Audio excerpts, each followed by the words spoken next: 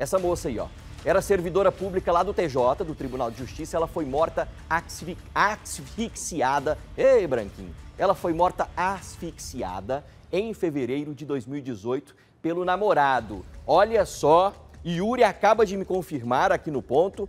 Tem-se o resultado deste júri popular. Você vê nas imagens o homem depois de ter cometido. Ó, ali ela vai chegando, ali ela vai pedir um, um Uber, vai pedir um carro por aplicativo. Ele cata o, motor, o celular dela, leva ela para cima e lá ele a mata. Ele foi julgado hoje por esse feminicídio. Douglas Fernandes me chama com urgência aqui porque ele está com o pessoal lá na porta do Fórum Criminal e vai trazer o resultado deste júri. Douglas, o programa é seu. Exatamente, viu, Branquinho? Foram quase 10 horas de julgamento e o resultado desse julgamento saiu agora há pouco, há poucos instantes. O José Carlos de Oliveira Júnior, ele acabou pegando 13 anos de prisão e deixou aqui né, o Fórum Criminal no Parque Los Angeles direto para o presídio de Aparecida de Goiânia. Esse crime, como você disse, aconteceu em 2018. Foram aí quatro anos de muita angústia para a família, que inclusive está aqui toda reunida. A dona Maria Lúcia está aqui também para conversar com a gente, que é a mãe da Gisele e vai falar com a gente qual o sentimento que a senhora tem depois de quatro anos, né, a gente pode dizer assim, de muito sofrimento? Muito, muito sofrimento.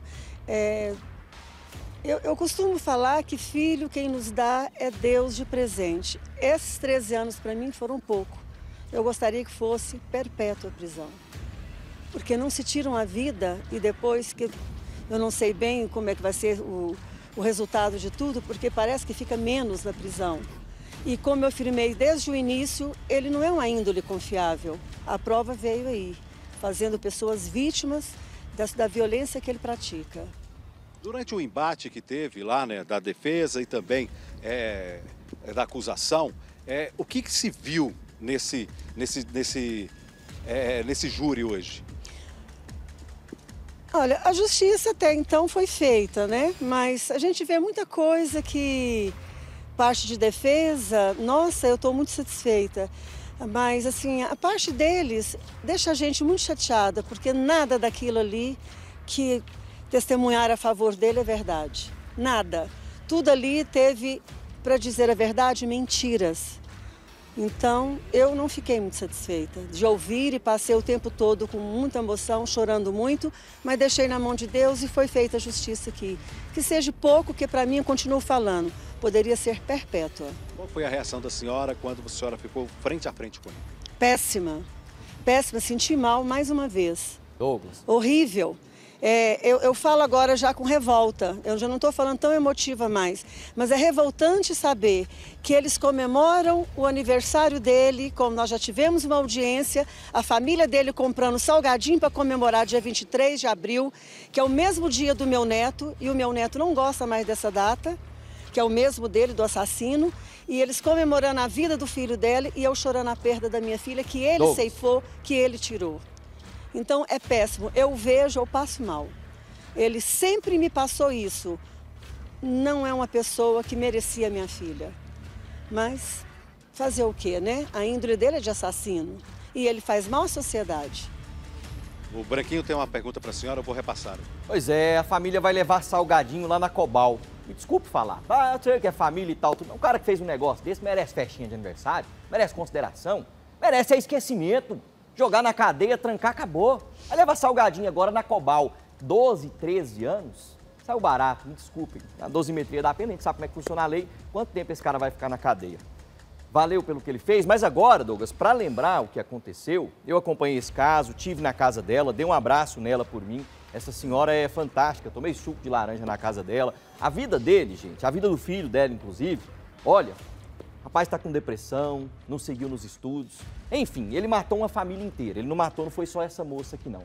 Eu queria que ela relembrasse o motivo. Por que, que esse cara fez isso com a filha dela?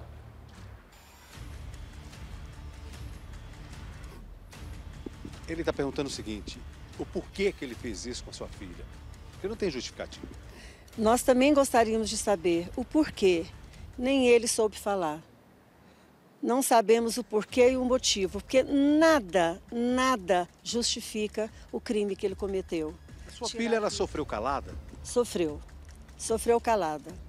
Para nós da família ela não falava. Algumas coisas foram manifestadas para o filho dele, que ele estava agredindo, que ele tirou foto do corpo dela onde, ele estava, onde ela estava machucada, e o filho dele, no depoimento da delegacia, disse que ele batia na mãe dele também e na Gisele. E para nós ela escondeu. Porque se ela conta, a gente teria tomado uma atitude de afastar ele dela, como o pai do primeiro casamento dele afastou a filha dele.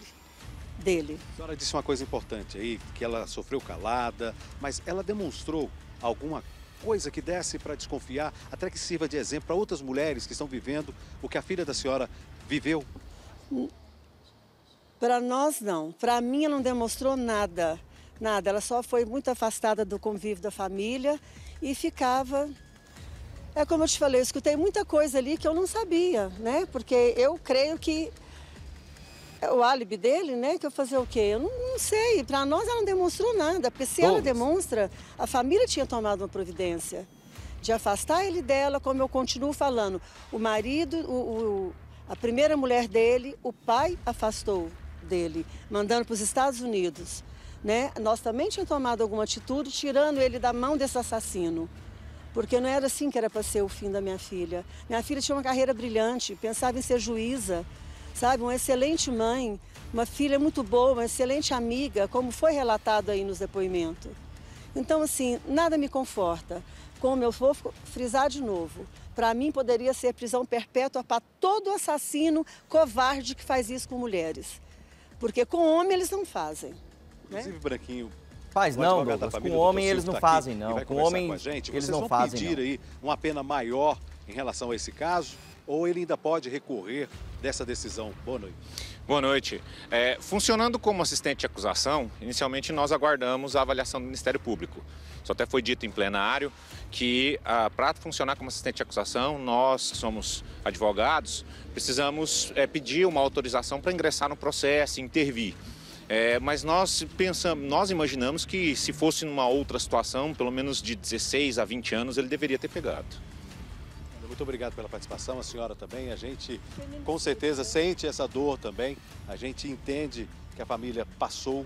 Né? Difícil é compreender esse sentimento de dor no coração agora. Mas né? justiça que seja feita, pelo menos a gente espera que esses 13 anos seja cumprido em regime fechado, Branquinho.